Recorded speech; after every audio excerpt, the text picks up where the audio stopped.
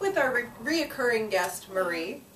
Um, she is going to be working out with us today, so this is going to be a full body workout that is fit for all levels, but Marie still is working her way up from beginner level, but she's gaining a lot of strength. So let's get started with the workout today. For the first exercise, we're doing lateral jump squats. We want to get your metabolism revved right from the beginning of the workout. So clasp your hands together and put them behind your head. You're going to go into a full squat position. Thighs come parallel to the ground. Knees are behind your toes. Back is lifted. And you're going to jump up, land in the same position. Jump, land, jump, jump, jump.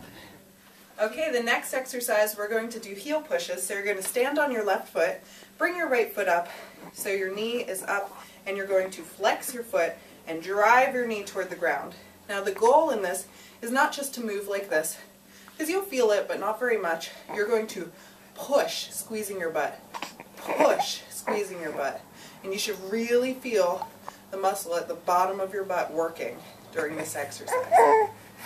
okay, we're doing the left leg now. So again, push. Really push, like you have to climb up a mountain or something. So you're really working that leg.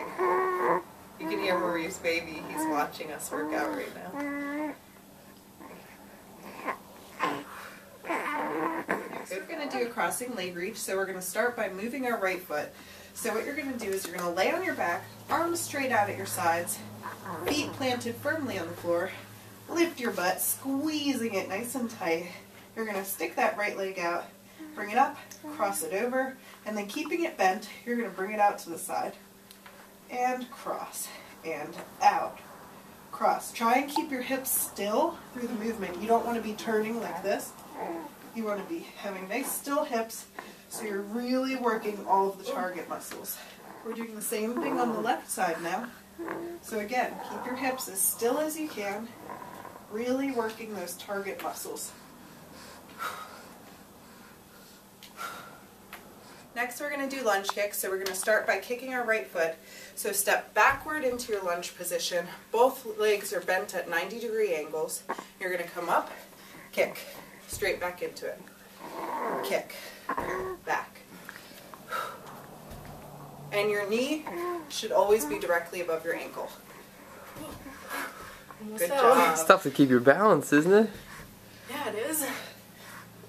That's how you add your core work in. Okay, next we're doing the left leg. So again, step back into your lunge position and kick. Sorry, that's okay. Lost it happens. balance. It happens to me all the time. Also, you usually have one side that you have more balance on than the other. This side is horrible. That's why you do it. Exactly. Whoa. Okay. I'm sorry. That's okay. You're doing Horrible great. balance.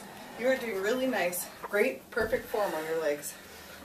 Next, we're going to do down dog leg oh. lifts. So you're going to lay on your stomach, put your hands below your shoulders, push yourself to the plank position, stick your butt up in the air, flattening out your back, and then bring your heels toward the ground. And then we're going to start with our right leg. So lift your right leg, and you're going to touch it down, lift. We're doing the left leg now.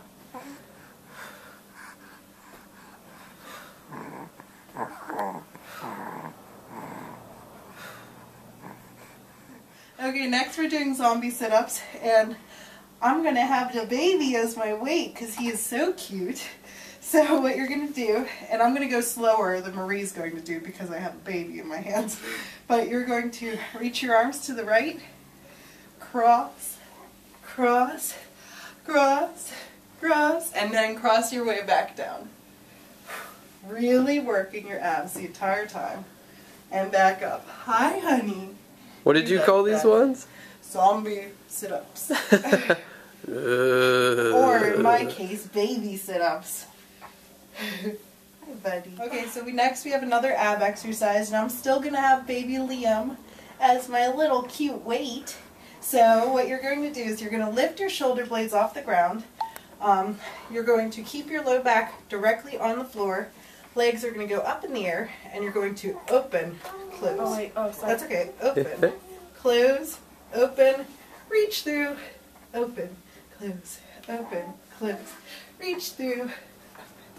Ow. Oops, sorry. And the baby's enjoying this because he's getting plenty of attention, and I can still get in a workout. Or Marie can because she gets to bring this little cutie home. We'll make a mommy and me workout video soon. Yes. Okay, baby. Through. Through. Through. Is he watching you? He's looking at Okay, the camera. Okay, before we move on to the mountain climbers, let me add a disclaimer. Do not hold up your baby like that for a workout if they're not strong enough to hold up their heads. You don't ever want their head to be wobbling all around. Okay? So, only if your baby is old enough, then you can enjoy a light, gentle workout with them where you're not shaking the baby at all. And you are strong enough, and Yeah. not on any pills, or sedatives, or drunk, or beyond. Yes, the whole important things to not be well you're you want to make sure that you have the strength to hold your baby. Baby's protection is number one priority in all situations. Sadly, we have to say that. Okay, so the next exercise is mountain climbers. So you're going to put both hands on the ground under your shoulders. You're going to come up into a plank position just like you would in a push-up. You're going to bring your right knee to your chest and then you're going to switch. And sometimes it's best to not use a mat because it can get caught up in your feet. Like it did me. Yeah, so just make sure you really lift your feet if you're using a mat. And go for the entire time. The next we're doing half moon pose. So the unmodified version of this is to stand on one foot and you're going to slowly reach down to the floor, keeping your hips open and facing forward and looking up at your thumb. Then you're going to rotate to the other side, almost in a cartwheel type motion, but you're not going quite that far. And then if you want to use chairs for the modification, so you don't have to bend as far, it's just a little bit easier on your balance. You're going to reach, let your fingertips touch the chair, and look up at your thumb. And then reach. And this is really nice because it really helps you to have great form and keep your hips facing front. Okay, last exercise is high knees. Marie's Yay. favorite. so drive your knees up toward your chest and keep your body moving the entire time. Arms should be pumping. You really want to have your blood flowing while you do this exercise. Okay, thank you so much for joining us for today's workout. Sincerely, Melissa, Marie, and Liam.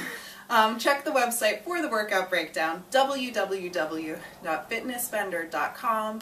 We will continue to bring you new workouts every day, including some beginner level workouts for people like Marie who just had a baby or just getting back into working out. Whatever your reasons may be, there are workouts for all levels from beginner to advanced, so check the website, www